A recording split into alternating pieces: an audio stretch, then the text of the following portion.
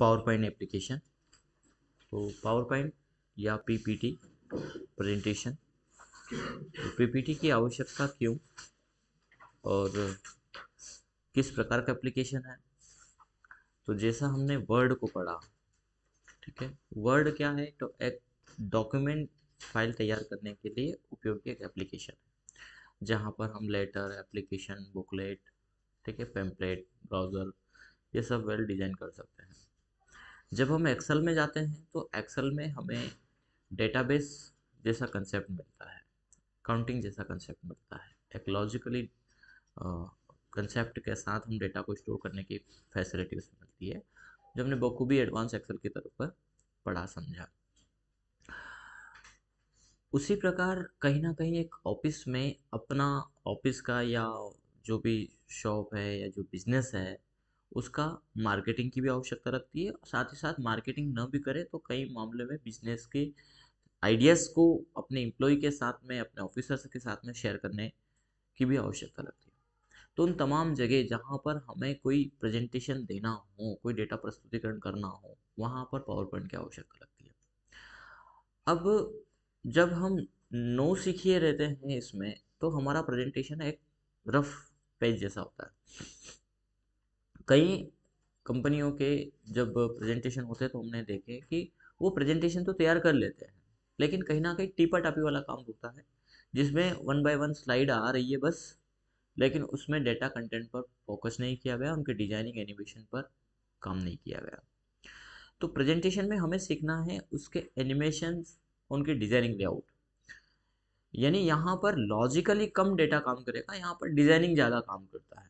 Excel में logically हमें mind को प्रिपेयर करके फिर काम करना होता है कि हम कैसे लॉजिक लगाते हैं और कैसे डेटा को एक्सेस कर दें लेकिन जब हम पावर पॉइंट में आते हैं प्रेजेंटेशन एप्लीकेशन में आते हैं तो हमें डिज़ाइनिंग मेथड पर ज़्यादा फोकस करना होता है कि कैसे एक वेल प्रेजेंटेशन हम तैयार करें, जो हमारे सभी ऑडियंस को अच्छा लगे, जो भी हमें दर्शक देख रहे हैं, जो भी समझ रहे हैं, उनको समझ में भी इजीली तौर पर वो आ जाए। तो वहाँ पर हमें प्रेजेंटेशन पर फोकस करना होता है। ठीक है? तो एक वेल प्रेजेंटेशन के लिए आपको कंटेंट की भी आवश्यकता लगेगी और उसके लिए आप थोड़ा माइंड को भी प्रिपेयर करना पड़ेगा कि किस प्रकार से हम कंटेंट रखें। जितने आप नए थॉट के साथ इस पर काम करेंगे, उतना ये बेर है। ज़्यादा ड्यूरेशन का हमारा है नहीं। यानी जब हम वर्ड और एक्सेल को पढ़ के आते हैं तो हम कहेंगे कि दो दिन में पावर पॉइंट बिल्कुल सीख सकते हैं। इसमें क्यों दो बस शर्त बस शर्त होती है कि आपका कंटेंट और आपकी रुचि। जितनी हो। दो दिन में ऐसे नहीं सिखाया जा सकता लेकिन हमें जो उसके मेथड्स हैं, जो कार्य पद्धति है, वो हमें आ जाता है। फिर हमें काम करना रहता है उन डिज़ाइनिंग लेआउट्स के ऊपर, उन ट्रांजेक्शन्स के ऊपर, उन व्यू पॉइंट के ऊपर कि हमें क्या फोकस करना, कैसा हम चाहते हैं। ऐसे कई इसमें बेस दिए गए हैं। तो पावर पॉइंट भी ऑफ़िस पैकेज का ही भाग है। तो पावर पॉइंट को ओपन करने के लिए आप ऑफ़िस के अंतर्गत जाइए और ऑफ़िस के अंतर्गत आपको यहाँ पर पावर पॉइंट एप्लीकेशन मिल जाएगा, ये पावर पॉइंट है ना? जो भी वर्जन आपके सिस्टम में इंस्टॉल हो। जैसा हमें वर्ड में कुछ टेम्पलेट बने बनाए मिलते हैं एक्सेल में भी हमें कुछ बनी बनाई एक्सेल सीट मिलती है, उसी प्रकार पावर पॉइंट में भी हमें कुछ प्रेजेंटेशन पीपीटी के जो डिज़ाइनिंग लेआउट्स हैं, वो यहाँ पर मिलते हैं। ये इनकी थीम्स है, ठीक है? तो इन थीम्स में भी हम ले सकते हैं और भी नेट से यहाँ पर डाउनलोड कर सकते हैं, जैसे फ़र्स्ट में यहाँ प्रेजेंटेशन थीम्स दे रखी है। ये कई प्रकार की थीम्स यहाँ पर आ जाएगी और इनमें कोई भी आप थीम्स जब सेलेक्ट करते हैं देन क्रिएट करना होगा। ये थोड़ा सा समय लेगा डाउनलोड हो जाएगा, ये डाउनलोड हो गया है। तो अब यहाँ पर डिज़ाइनिंग लेआउट ये प्री डिफाइन है हालाँकि। इनकी हम बात करें तो यहाँ इसमें एनिमेशन नहीं होंगे। ये एक के बाद एक स्लाइड यहाँ पर आ रही है। और डेटा कंटेंट यानी एक तरफ़ इन्होंने फोटोग्राफ्स वगैरह रखा है और दूसरी तरफ़ उसका टेक्स्ट लेआउट यहाँ पर रखा है। सभी स्लाइडों में यहाँ पर डिफरेंट डिफरेंट डेटा कंटेंट को शो किया गया कहीं कहीं पे देखिए ग्राफ को भी यहाँ पर रिप्रेजेंट किया गया है। तो हम अपने बिज़नेस का या हमारा जो भी डेटा कंटेंट होता है, उसका वेल प्रेजेंटेशन यहाँ पर शो कर सकते क्योंकि सारी चीज़ें हमें याद रह पाना और स्टेप बाय स्टेप रह पाना कहीं ना कहीं बहुत कठिन होता है। तो प्रेजेंटेशन हमारी अपनी बात को रखने के लिए एक सहारा भी होता है कि हमें किन पॉइंट को फोकस करना है और किसके बाद करना है। तो वो पॉइंट हम इसमें स्लाइड में बना के रखेंगे। और जैसे जैसे हम ये बात कहते जाएँगे, वैसे वैसे इसको आगे भी हम बढ़ाते जाएँगे कि अब हम नेक्स्ट पॉइंट पर बात कर रहे हैं, जो भी हमारा पॉइंट होगा, वो इसमें ऐड करना।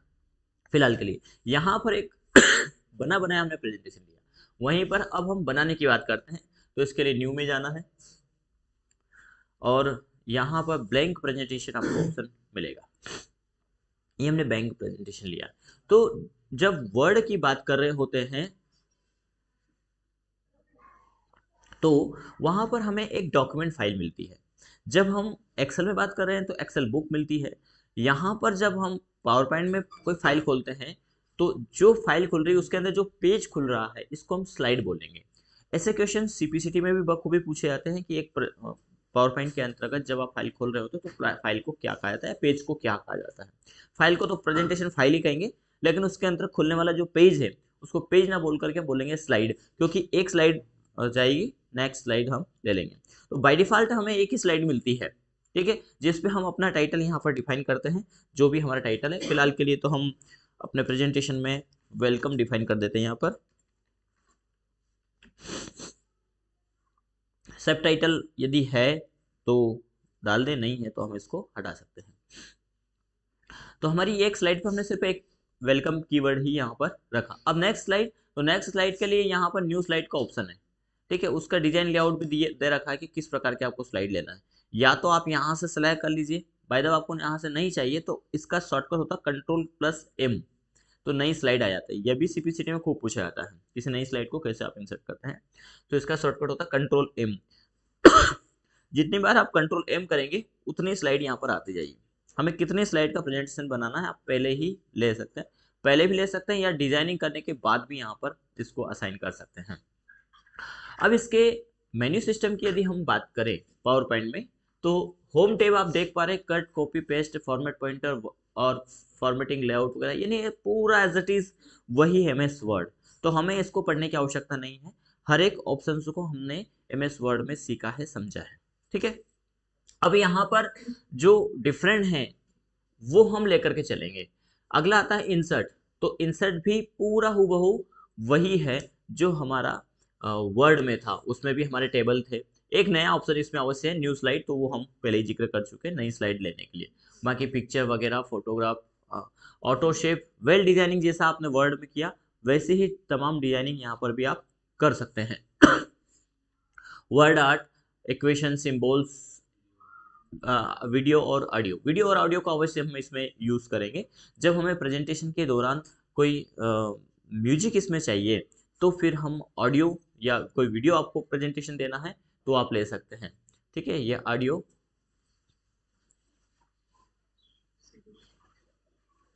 ऑप्शन पे आप जाएँगे, और जहाँ पर भी आपके पास ऑडियो है अभी शायद हमारे पास ऑडियो होना बहुत मुश्किल है।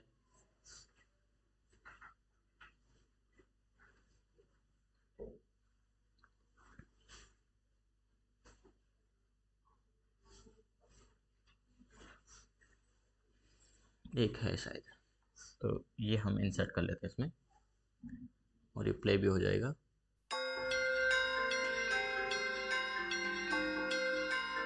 ठीक है तो ये म्यूज़िक आ गया। अब म्यूज़िक की अभी तो हमारे पास फ़िलहाल कमी है तो फिर डाउनलोड करेंगे और आगे इसको हम देखेंगे। ठीक है तो यहाँ पर न्यू ऑप्शन है ऑडियो और वीडियो का इंसर्ट में। डिज़ाइनिंग में भी लगभग लगभग वही है, लेकिन यहाँ पर कुछ डिफरेंट है। और वो है यहाँ की थीम्स जो थीम्स है, यही हमारे प्रेजेंटेशन को डिफरेंट शो करेगी, नहीं तो ये प्रेजेंटेशन प्रेजेंटेशन न लग करके एक फ़ाइल लगता है। तो यहाँ पर कई प्रकार की थीम्स है। इनमें जो भी आप थीम अपने प्रेजेंटेशन के आधार पर लेना चाहते हैं, वो आप सेलेक्ट करिए। जैसे आप सेलेक्ट करेंगे तो आपके प्रेजेंटेशन में वो थीम या कलर जो आपने लिया है, वो सभी स्लाइड के ऊपर लागू हो जाएगा। ये सबसे पहला हमारा वेलकम है।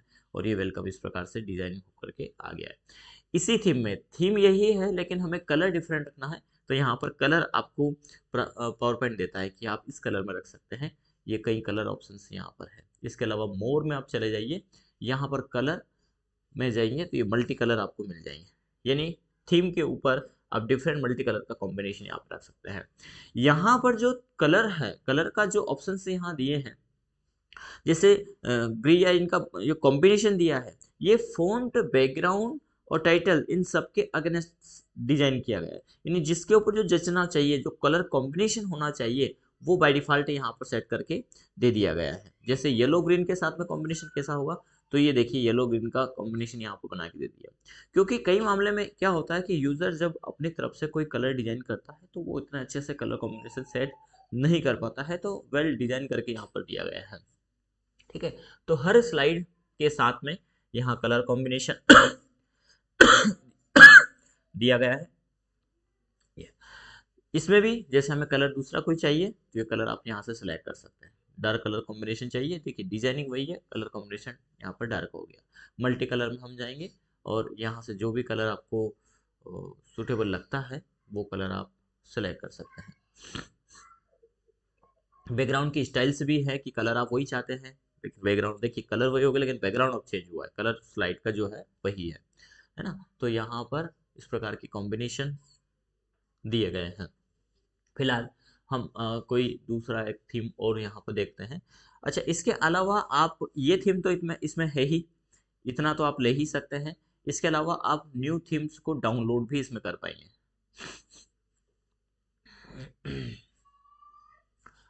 यदि आपके पास कोई डाउनलोड है तो वो वहाँ से आप ले सकते हैं। फ़िलहाल हमारे पास शायद कोई सी थीम इसमें डाउनलोड नहीं है। चलिए तो हम कुछ थीम नेट से डाउनलोड करके देखते हैं।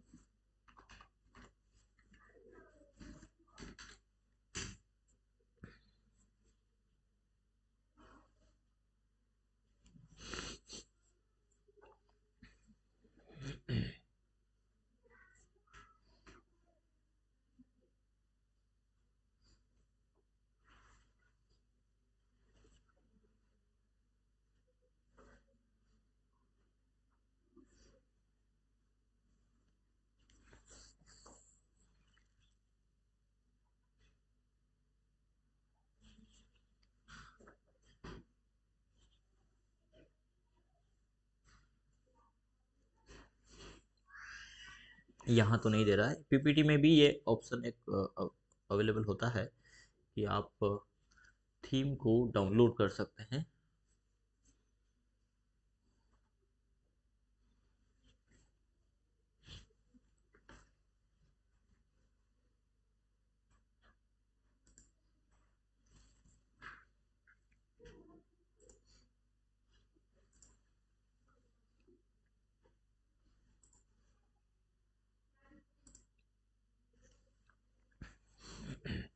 इसके लिए आपको न्यू में थीम में जाना पड़ेगा, है ना?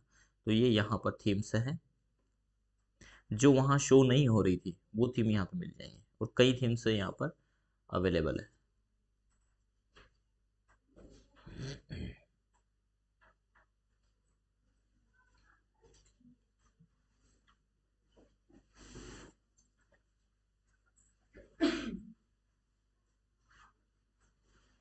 जैसा थीम में दिखा रहा था, वैसा नहीं निकला ये।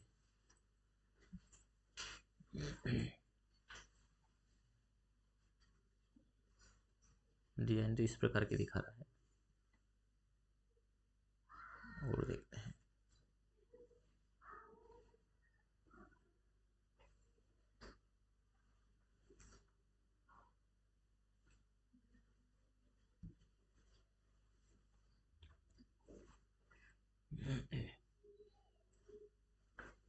इसमें मॉडर्न डिज़ाइन अवश्य मिली है, ठीक है?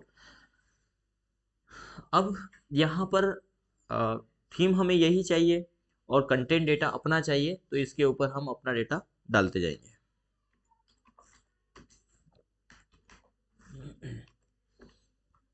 हमें सब टाइटल नहीं रखना है तो इस टाइटल को बॉर्डर पे आप क्लिक करेंगे देन डिलीट कर सकते हैं। तो ये सब टाइटल इसका चला जाएगा।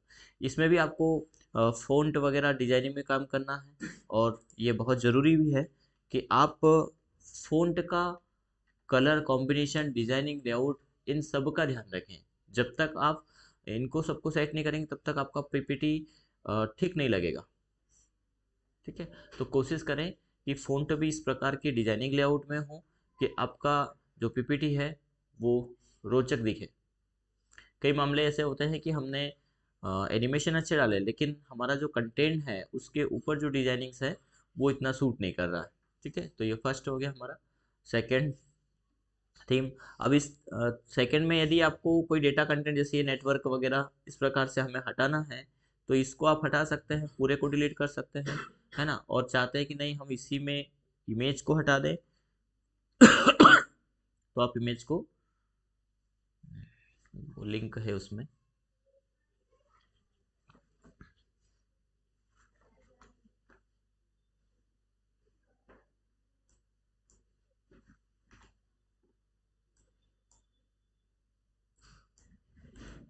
इसमें शायद ग्रुप हो सकता है। चलिए, हम पूरे को हटा देते हैं। यहाँ पे हम खुद इसमें नया डिज़ाइनिंग ले सकेंगे, कोई दिक्कत नहीं है। इसमें भी आप इमेज यदि चाहते हैं कि हम अपना इमेज रखें तो दूसरा आप डाउनलोड कर ले सकते हैं इंसर्ट कर सकते हैं। देखिए, यहाँ पर इमेज ये लगा हुआ है। लेकिन इस प्रकार के इमेज जो प्रीडिफाइन है, कहीं ना कहीं उन्होंने कलर कॉम्बिनेशन के हिसाब से सब कुछ सेट किया हुआ है तो वो ठीक लगेगा। अब यहाँ पर डाल सकते हैं हम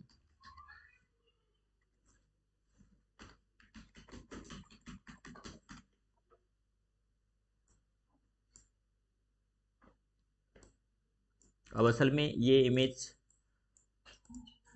के पीछे है।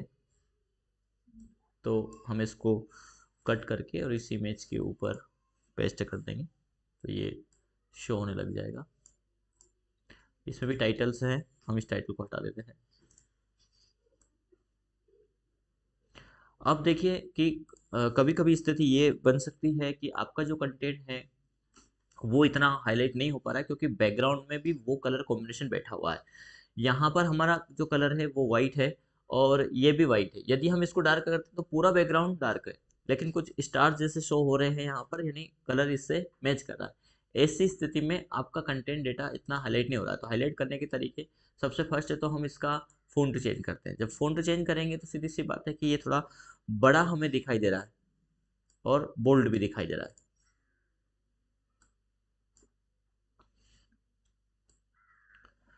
अब ये अभी भी इतना अच्छे से हाईलाइट नहीं हो रहा है। तो अब हमें ध्यान देना है या फोकस करना है इस डेटा कंटेंट के ऊपर। इस पर डबल क्लिक करना है फॉर्मेट में जाना है और एक तो हम इसकी आउटलाइन सेट कर देते हैं। ठीक है आउटलाइन का सेट तो हो गया लेकिन साइज़ कम है तो हम आउटलाइन का जो साइज़ है वो थोड़ा सा बढ़ा देते हैं। बढ़ाने के बावजूद भी आउटलाइन का जो कलर है वो बैकग्राउंड का कलर दोनों का डार्क है तो हम आउटलाइन का कलर भी यहाँ पर चेंज करके देख लेते हैं।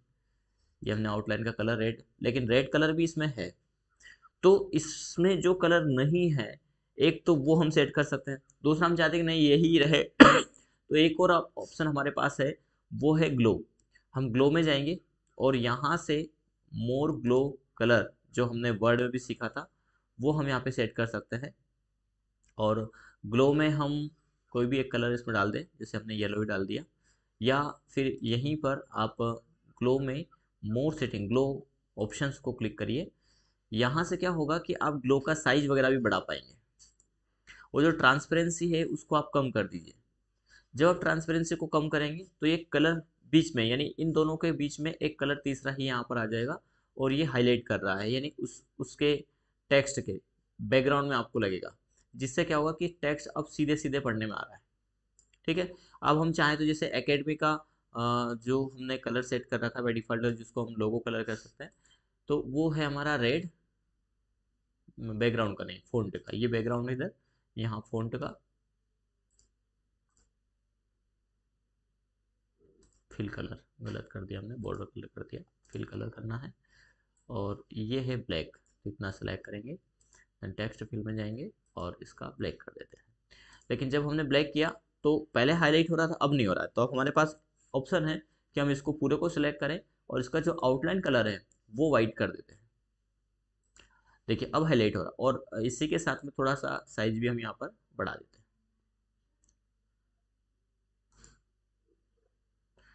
साइज़ कुछ ज़्यादा साइज़ हो गया है, कम करना चाहिए, इतना ठीक रहेगा। अब देखिए, उसी बैकग्राउंड में हमने शुभम अकेडमी को हाईलाइट कर दिया है। ठीक है? तो कलर कॉम्बिनेशन पर भी हमें थोड़ा ध्यान देना है। अब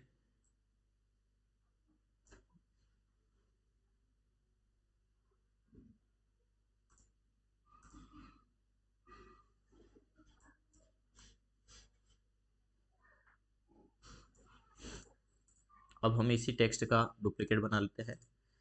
तो इसके लिए इसकी बॉर्डर पे आपको क्लिक करना है। देखिए, अब बॉर्डर उसका आ रहा तो इस टेक्स्ट का बॉर्डर थोड़ा डार्क होने के कारण ये कम हाईलाइट हो रहा है। बॉर्डर पर हमने क्लिक किया और कंट्रोल डी। से इसका डुप्लीकेट अब बना ले।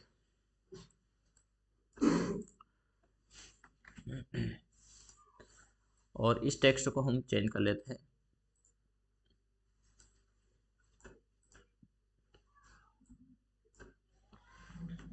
सिलेक्ट में दिक्कत दे रहा है।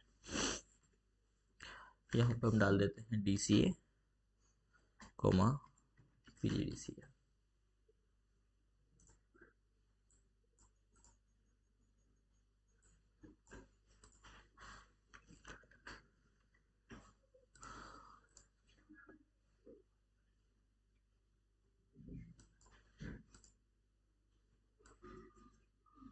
बार बार इमेज ही सिलेक्ट हो रहा है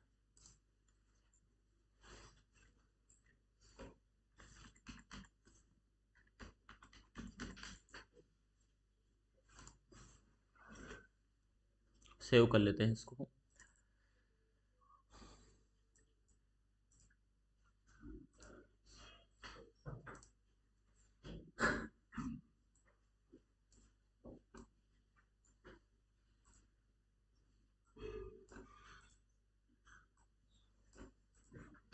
ये सभी क्या हो गया हुआ सिलेक्ट इसकी स्टोरी भी बहुत ज़्यादा बड़ी हुई टेक्स्ट से तो इस कॉर्नर को क्लिक करके और इसकी स्टोरी को भी हम थोड़ा छोटा कर लेते हैं। एक और बैकग्राउंड में बैकग्राउंड इमेज है, इसलिए परेशान कर रहा है, हटा देते हैं।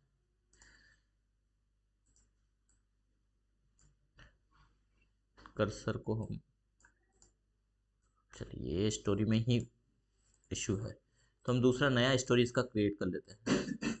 इसको सिलेक्ट करना है आपको कंट्रोल एक्सेस से कट करना और कहीं पे भी बाहर क्लिक करके और इसको पेस्ट कर देना। तो इस डेटा की अपनी स्टोरी बन जाएगी। तो इसको आपको थोड़ा सिलेक्ट करना और मैनेज करना आसान हो जाएगा।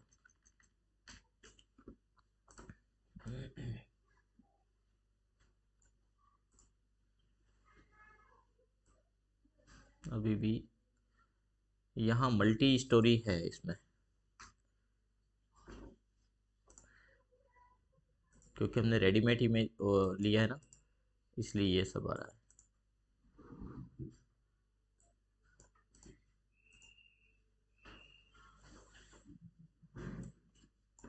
अभी भी सिलेक्ट नहीं होने दे रहा।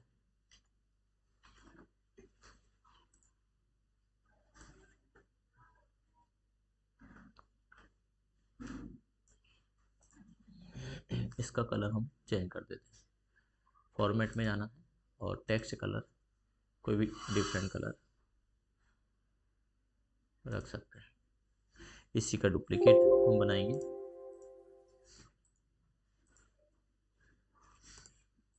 डुप्लीकेट बनाने के लिए स्टोरी सिलेक्ट होना ज़रूरी है। और स्टोरी में स्टोरी बैठी हुई है।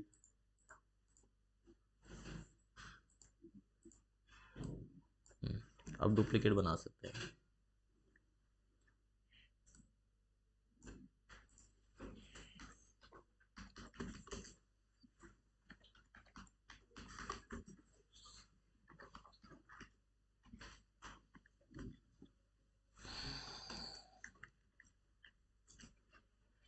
अब इसमें जो इसका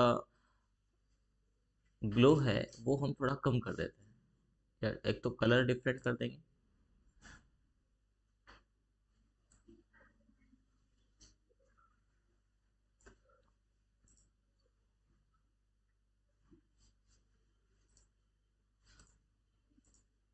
इसका भी स्टोरी बहुत एक्स्ट्रा जा रहा है। इसको भी कट कर लेते हैं। और ये जो स्टोरी है ये डिलीट कर देंगे और उसको पेस्ट कर देंगे। अब हम इसका साइज़ बढ़ा सकते हैं। लेकिन स्टोरी वो, जो स्टोरी था जिसपे डेटा टेक्स्ट था, वो बाय डिफ़ॉल्ट कैपिटल लेटर्स में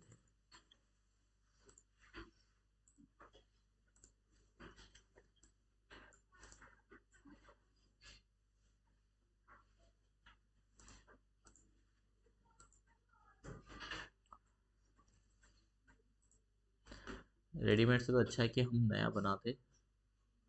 आई थिंक इससे ज़्यादा अच्छा रहता। इसमें स्टोरी बहुत भरी पड़ी हुई है। स्टोरी नहीं, खुद की इनको स्टोरी बोलेंगे हम।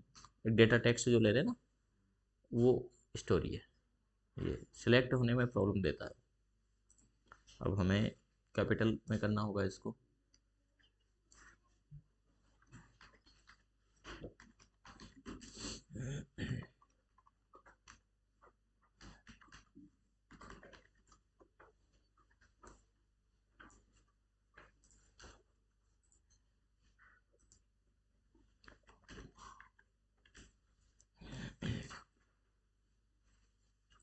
देखो जैसे हमने इमेज को हटाया, अब हमें स्टोरी में सिलेक्शन में दिक्कत नहीं दे रहा है यहाँ पर भी शायद हो सकता है कि ये मिक्स हो।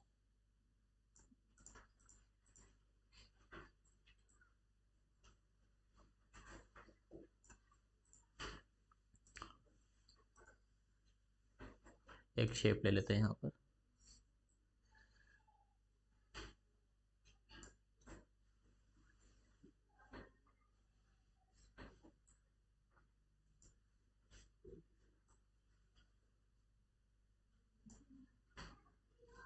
इसमें भी एडिट पॉइंट ऑप्शन मिलेगा हमें।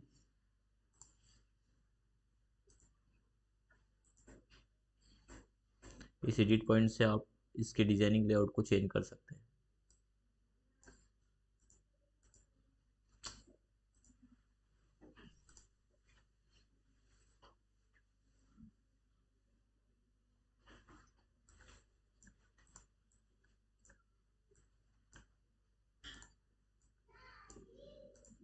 ये देखिए एक्स्ट्रा स्टोरी है इसमें डॉटेड वे बनाया बनाया है ना डिज़ाइनिंग इसलिए ये हमें अपने ऑप्शंस को मैनेज uh, करने में बड़ी प्रॉब्लम देता है। हम सिलेक्ट कुछ और करने जाते हैं लेकिन ये सिलेक्ट होता है। और यही कारण है कि अभी एडिट पॉइंट जो हम चला रहे हैं वो नहीं चल रहा है। तो हम एक न्यू स्लाइड पर इसको डिज़ाइन कर लेते हैं पहले।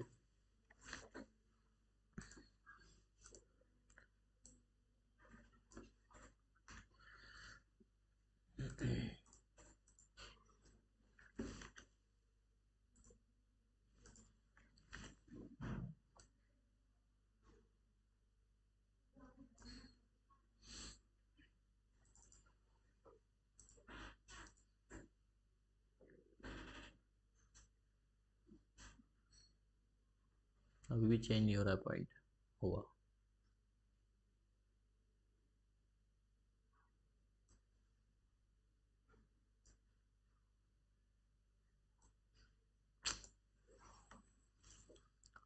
वर्ड जैसा स्मूथ नहीं चल रहा है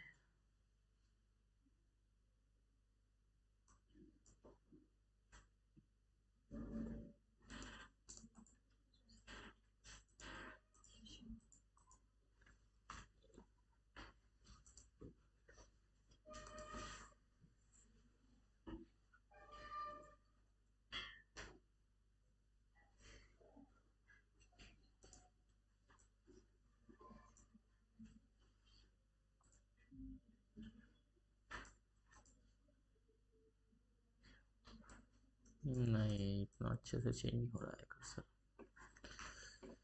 ऐसा तो नहीं कि हमारा प्रेजेंटेशन के कारण ही है जो बुरा बनाया है। एक बार ब्लैंक पे करके देखते हैं इसको।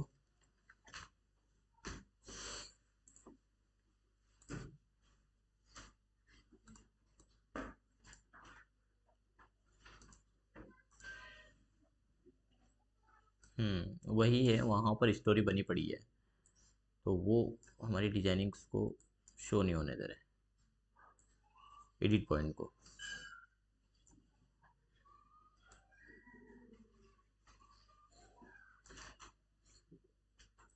यहाँ एडिट पॉइंट बॉक्स भी चल रहा है।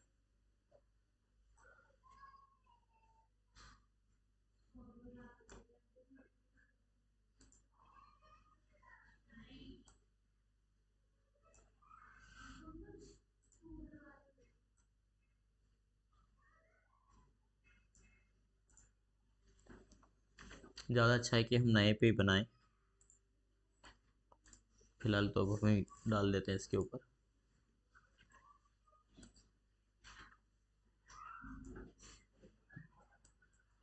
देखो, अब यहाँ पर साइज़ ही बढ़ाने में दिक्कत दे रहा। है ठीक है, हमने कोई ज़्यादा नहीं लिखा है। हम अपने डेटा को यहाँ से ले चलते हैं।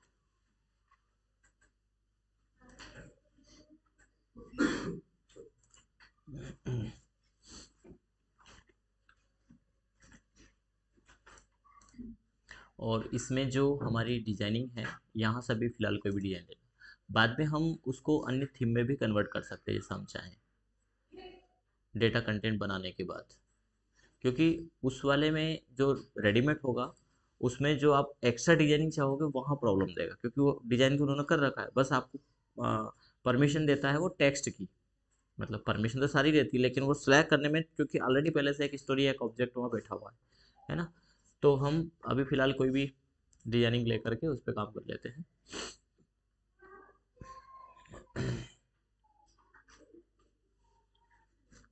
इसमें भी आप, जो पहले के टेक्स्ट है, ये बेस रहे, इनको आप हटा देना।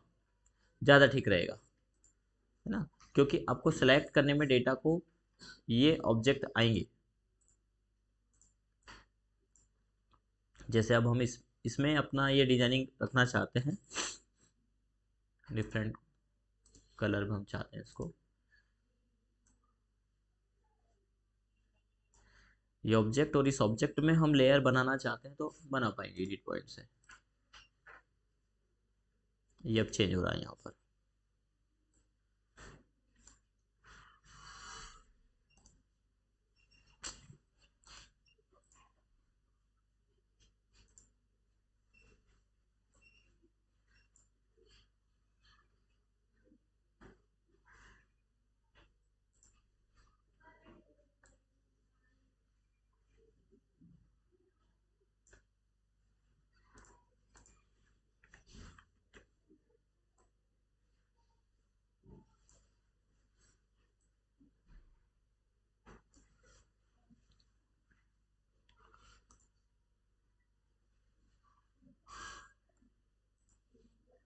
इसको हम बैक में कर देंगे सेंड बैक तो ये लेयर पीछे चली जाएगी। और आउटलाइन को आप हटा दीजिए, जो आउटलाइन दिखाई दे रही है। नो आउटलाइन इसमें भी, और इसको भी सिलेक्ट करके नो आउटलाइन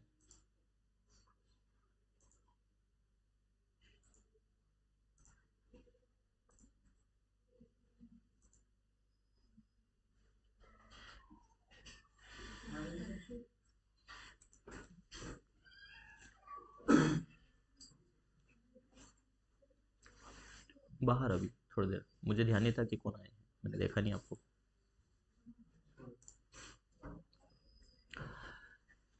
ठीक है सेव करने के लिए वही है कंट्रोल एस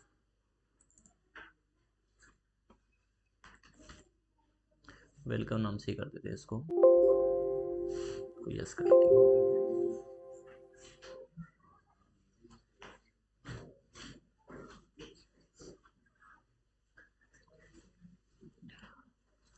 अब यदि हम इसी का डिज़ाइनिंग एक्स्ट्रा लागू करना चाहते हैं तो इस पूरे स्लाइड को सिलेक्ट करके कंट्रोल डी करना। तो पूरा same as it is duplicate बन जाएगा। तो हमें इसमें लेयर बनाने की आवश्यकता नहीं पड़ेगी, बस हमें कंटेंट डेटा को ही यहाँ पर चेंज करना पड़ेगा। ठीक है? अब हम यहाँ पर जो भी कंटेंट डेटा अपना चाहते हैं, जैसे हम सबसे पहले डीसीए का डिटेल करना चाहते हैं तो यहाँ इस स्लाइड पे हम डीसीए का डिटेल कर पाएँगे। ठीक है? डी के अंदर कितने सेमेस्टर है, वो चीज़ें नेक्स्ट लाइफ हम पी जी से रखना चाहते हैं तो वही कंट्रोल डी से डुप्लीकेट बना देंगे। अभी हमने इस पर कोई एनिमेशन डिज़ाइनिंग नहीं डाला है, अभी सिंपल सा हमने डिज़ाइनिंग फॉर्मेट लागू किया है। इसके ऊपर ले जा करके हम पेस्ट कर देते हैं इसको।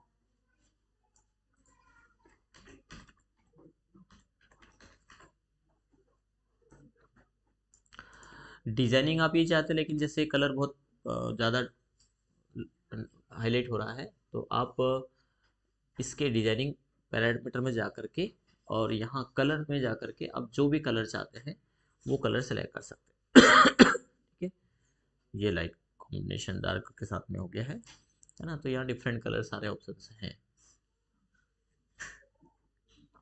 जिस भी कलर के साथ में कॉम्बिनेशन आप चाहते हैं, थोड़ा लाइट कलर ले लेते हैं हम।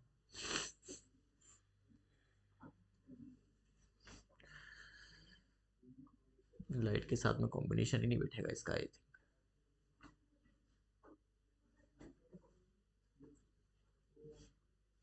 बहुत ज़्यादा डिफरेंट हो गया है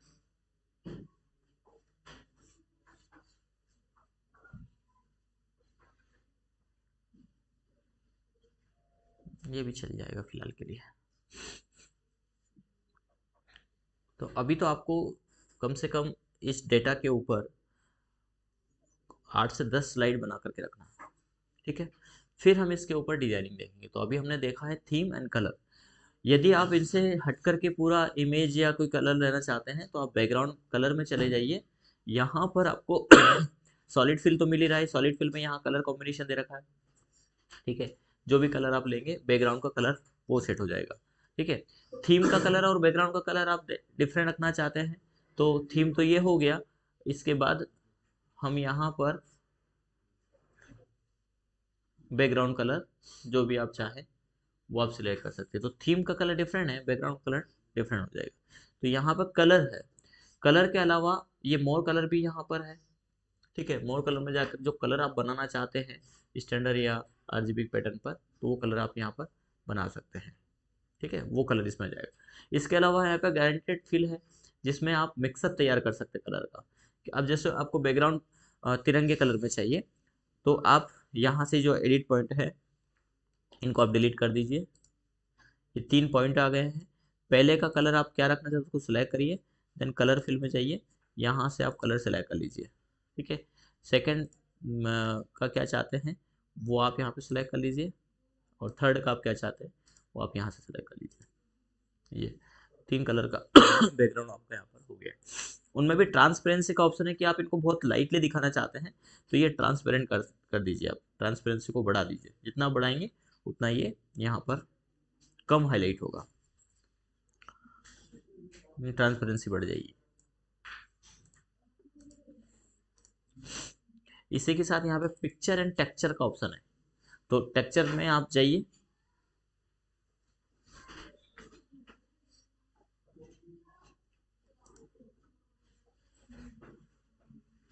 इस पट्टिका को हम थोड़ा सा बड़ा कर लेते हैं। ये यहाँ पर ये सारे टेक्चर्स हैं। जो भी टेक्चर आप लेंगे, वो बैकग्राउंड में फिर हो जाएँगे। ये डार्क टेक्चर आ गया। यानी हमारी थीम वही है, लेकिन बैकग्राउंड अब हमारा यहाँ पर चेंज हो गया है। ठीक है? तो कई टेक्चर्स हैं। जो भी आप टेक्चर लेंगे, वो टेक्चर यहाँ पर जाएगा। उनको भी ट्रांसपेरेंसी आप कर सकते हैं ट्रांसपेरेंट कर सकते हैं। देखिए टेक्चर में अप्लाई हो गया है। और यही ऑनलाइन ऑप्शन भी है। पर वो आपको सर्च करना पड़ेगा।